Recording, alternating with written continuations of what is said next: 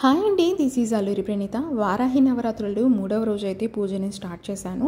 So ఈ అయితే నేను ప్రసాదంగా పాలను అలానే అమ్మవారికి ఎంతో ఇష్టమైన పానకాన్ని రెడీ చేస్తున్నాను అనమాట ఖచ్చితంగా ఎన్ని రోజులు చేస్తే అన్ని రోజులు పానకం అయితే కంపల్సరీ ఉండాలి. అలానే టెంకాయ కూడా అనమాట అండ్ పాలల్లో కానీ చేసే ప్రసాదంలో కానీ పానకంలో కానీ పచ్చకర్పూరం కనుక యూజ్ చేస్తే మనకు చాలా టేస్ట్ అనేది డిఫరెన్స్ ఉంటుంది. మీరు కూడా ఒకసారి ట్రై చేయండి.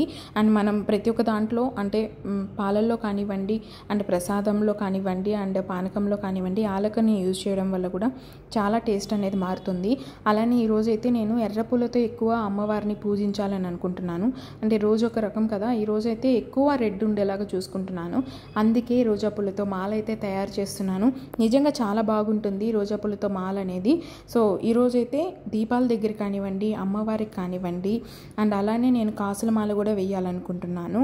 అండ్ ప్రతిరోజు ఏదో ఒక కొత్త వెరైటీ ఉండేలాగా అండ్ అమ్మవారిని ఎవరైనా ఆడవాళ్ళకి ఎక్కువ ఇష్టపడేది ఏంటంటే అలంకరణే కాబట్టి అమ్మవారికి కూడా ఆబ్వియస్లీ అలంకరణ మనం ఎంత బాగా చేస్తే అంత ఇష్టపడతారనమాట.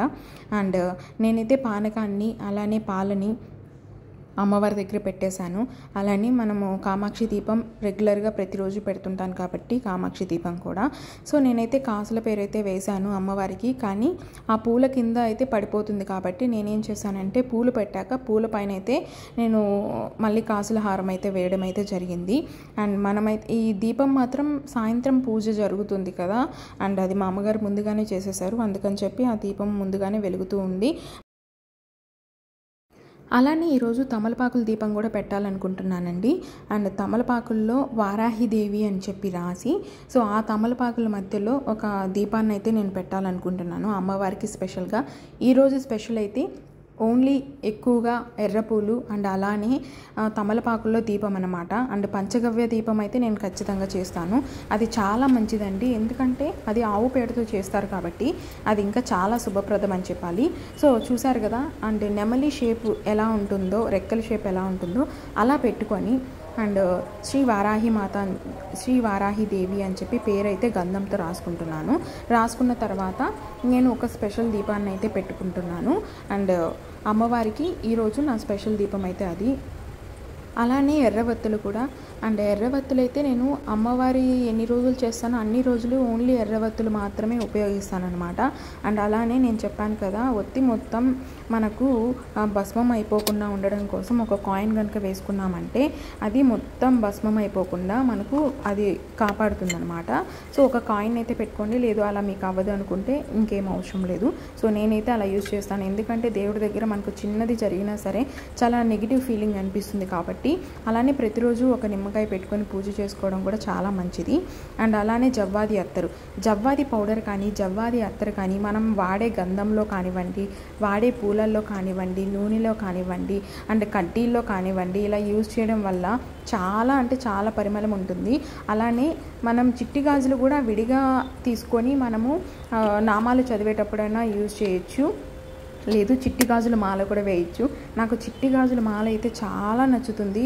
అందుకే నేను ఖచ్చితంగా చిట్టి గాజుల మాలని ఎన్ని రోజులు ఉంటే అన్ని రోజులు కూడా అలానే ఉంచుతానమాట అండ్ ఏక దీపారాధన అయితే చేయాల్సి ఉంటుంది. అన్ని దీపాలు కూడా మనం ఒకే దీపంతో వెలిగించాల్సి ఉంటుంది. అండ్ నేను ప్రతి ఒక్క దీపం దగ్గర పూలు పెట్టుకుంటున్నాను. ప్రతి ఒక్క దీపం దగ్గర ఖచ్చితంగా పూలని కానీ అండ్ పసుపు అక్షింతలు కానివ్వండి ఏదైనా సరే పసుపు కుంకుమ కలిపిన అక్షింతలు కానివ్వండి పూలు కానివ్వండి ఖచ్చితంగా హండ్రెడ్ పర్సెంట్ పెట్టాల్సిందే. కొన్ని మనం చేసేటప్పుడు శుభప్రదం అన్న వాటికి మనం ఇలా పూలతో కానివ్వండి అక్షింతలతో కానీ తెలియజేస్తూ ఉంటాము.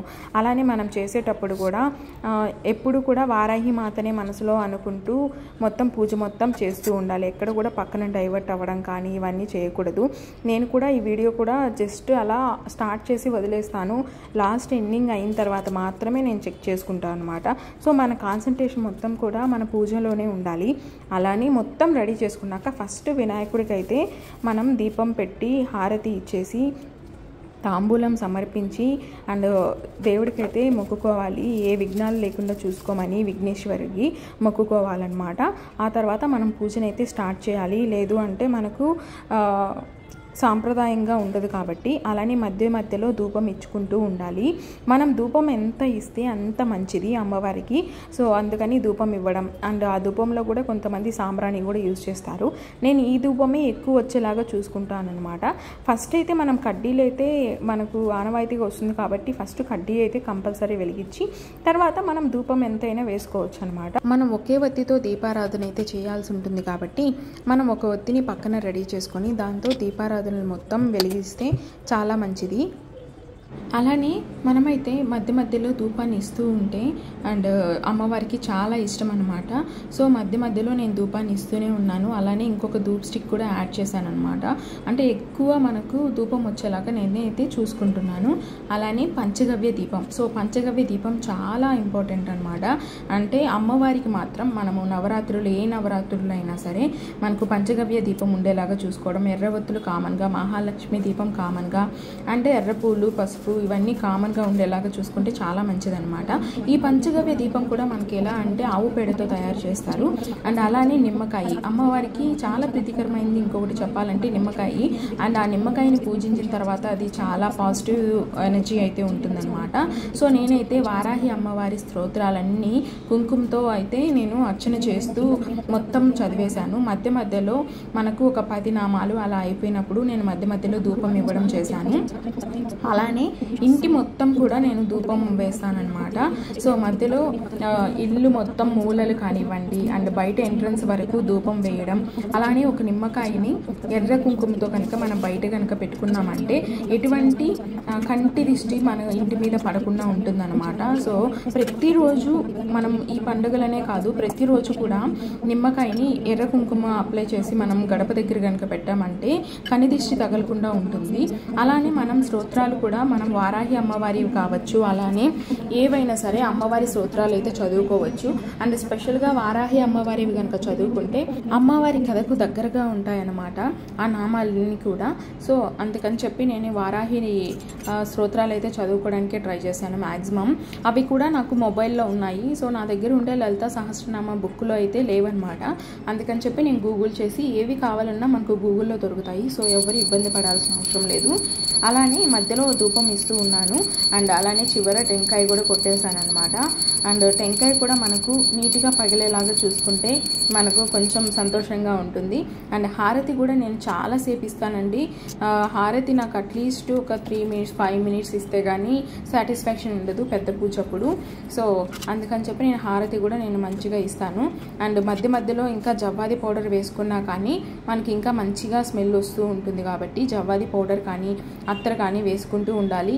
ఎలాంటి మనము మైండ్ డైవర్ట్ అవ్వకుండా ఎప్పుడు వారాహి అమ్మవారి మీదే ధ్యాస ఉంచి పూజ మొత్తం చేసుకుంటే చాలా మంచి జరుగుతుంది.